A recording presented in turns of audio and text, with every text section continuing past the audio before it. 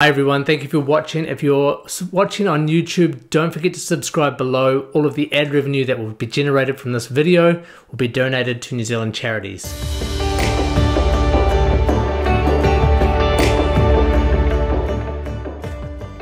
Today we're going to be talking about student loans and how they affect your ability to borrow. Now this can affect either first home buyers or property investors. If you're looking to buy a property at all, the bank does a calculation on how much you can borrow. And a student loan really affects that, but it doesn't affect it in the same way that a credit card or a hire purchase affects it.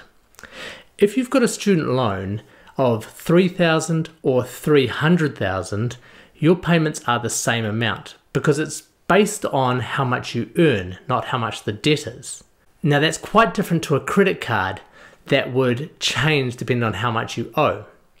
So the calculation is roughly 12% of your income. And I know for the lower brackets of income that changes, you don't have to pay any student loan up to a certain point. But for most people, it's 12% of their income once they've earned about $14,000 or more. So on $100,000 of income, you would be paying roughly $12,000 per year or $1,000 per month, no matter what your student loan was.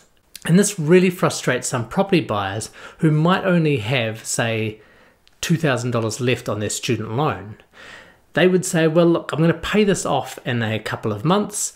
Why is the bank still factoring this in in my income? And the fact is, the bank has to calculate what you can afford today. It's a snapshot of today, and today you have a student loan. So if you've only got a couple of thousand dollars, you might consider paying that student loan off. That would then free up some of your income and allow you to potentially borrow more. But that payment can't be made if it affects your deposit.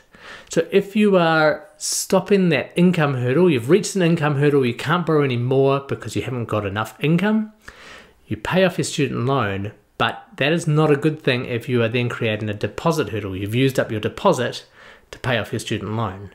So there's a bit of a balancing act there and there's some fine calculations and you probably need to run through this with a mortgage advisor or the bank just to see how the numbers come out. How does it look if you pay off your student loan? But the fact is that student loans materially affect how much you can borrow because the bank takes that payment out of your income no matter what stage your student loan is at. I hope that's really clear. Leave some comments below about your thoughts or talk to your mortgage advisor about doing that calculation as to whether to pay off your student loan or leave it there and keep saving towards a deposit. Thanks for watching, talk to you next time.